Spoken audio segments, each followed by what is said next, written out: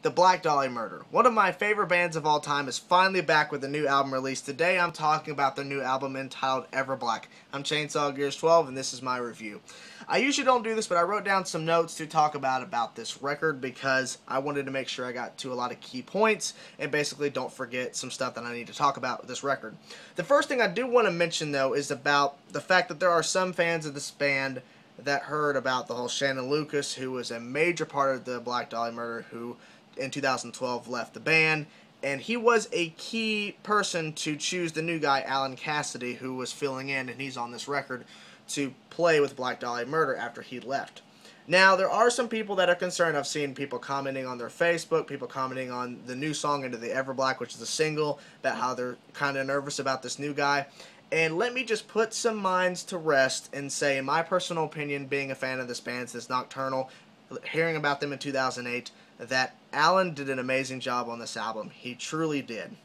Of course, I'll get to that later when I talk about the sound of the band and when I get to him, talk about his drums, the sound, and how he contributed to this album. So let's get into basically some of the few key musical things that I found on this album.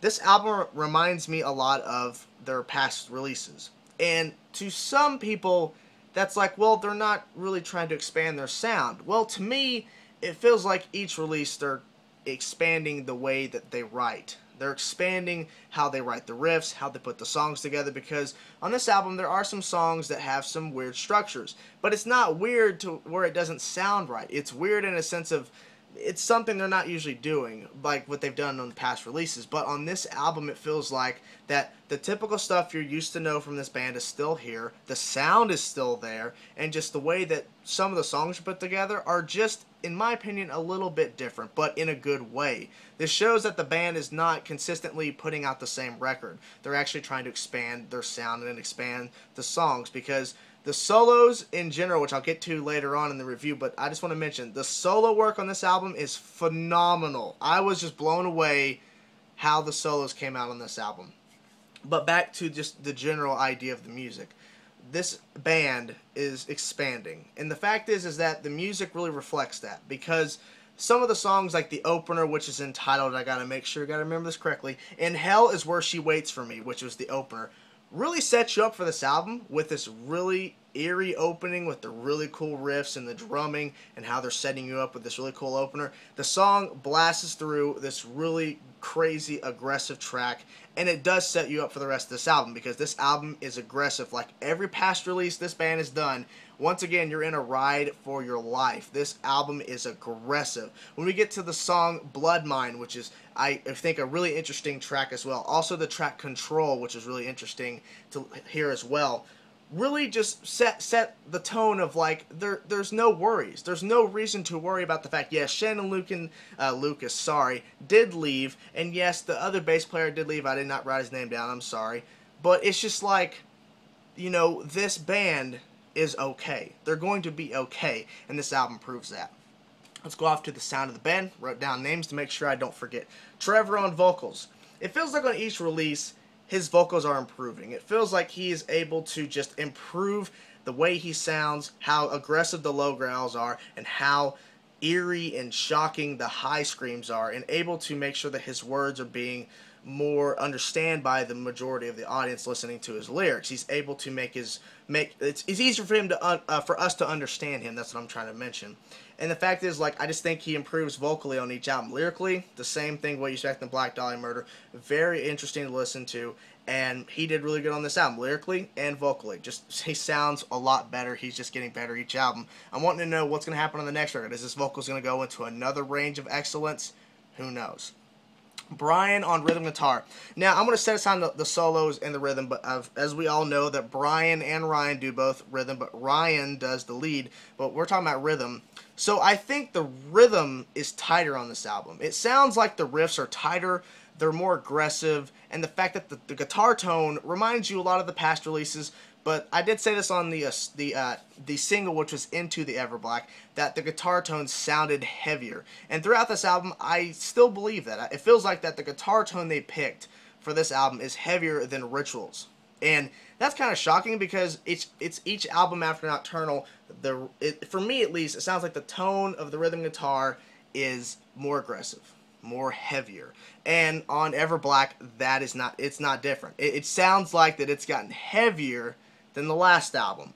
And just the way that the riffs were put together, the song structures, just the riffs are just intense on this album. That's what you need to understand. That's on every release, I know, but this band is proving that they're not slowing down. The riffs are getting crazier. The riffs are getting more interesting to listen to. The riffs are getting more uh, not simplistic in a way. They're just getting more diverse and just able to expand that rhythm section because this band is based around two key elements guitars and drums. That's what, to me, the Black Dahlia Murder is most known for is the drum work from Shannon Lucas. And of course, we'll get to the drumming in a minute with Alan, but the also the guitar work because the guitar work has always been intense, insane, crazy, heavy, aggressive, mind blowing.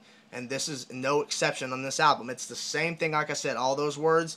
The rhythm section is just to die for. Ryan on lead guitar. I didn't mention this earlier, but I feel like, to me personally, the lead guitar work on this album is phenomenal. It's just an epic to listen to. Each song has a guitar solo, and it's pretty long. And for me, it's it's it's just an amazing. It, it's it's a moment to sit there and just enjoy the guitar work and just enjoy the guitar solo. On each album, after Nocturnal and leading up to getting more progressing more into their style of music, it seems like the solo work has always been improved on each record. Like I think about how they're improving as musicians, they are. The solo work is no different. The solo work on this album alone tends to just go from this melodic to, to crazy shredding, just going mind blowing guitar work. it's just like the, the melodic start, then we go to the shred. Or you know, it's shred, then melodic, and then shred. There's so many capabilities because also in rhythm section because the rhythm section likes to, to bring it back when the solos are really melodic and they get crazy when the solos go crazy. That's how Black Dahlia Murder works. So the solo work I'm trying to say is is epic. It, there's no change in that whatsoever. Let's go to Max on bass, which is well, the first new guy. Uh, the bass guitar for me has never been a problem with uh, the bass is turned up on this album. There's never been an issue with me on past releases from this band. The bass guitar sounds good. Max is fitting in very well. But let's get to the drums. That is what everybody's been waiting for. The drums. Alan. So I did say put your minds to rest, and I, I will I will stick with that because when I listen to this album a couple times and really get a feel of each track and really listening to each individual part and making sure that I understand everything that's happening in each track, the drums are phenomenal. Alan is doing an amazing job, and the thing is, is that people were put at ease when they heard him play live and play the older songs. That's not the same as writing material. He did a phenomenal job live. He did an amazing job live, performing all these songs perfectly like Shannon did uh, in the studio and live.